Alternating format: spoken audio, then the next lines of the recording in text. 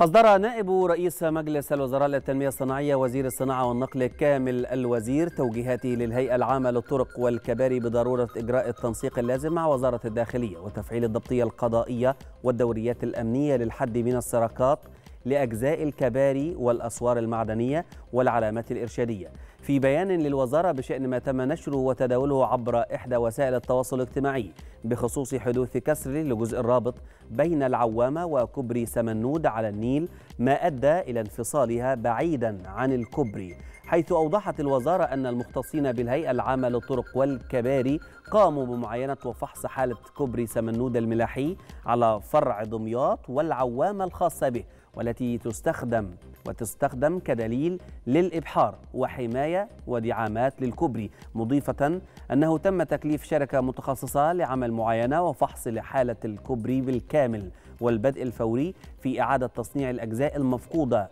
لعمل الصيانة اللازمة والشاملة للكوبري في غضون ذلك. صرح مصدر أمني بأن وزارة الداخلية لم تتلقى أي اختارات أو بلاغات من أي جهة أو مواطن بشأن تلك الواقعة وجاري الفحص.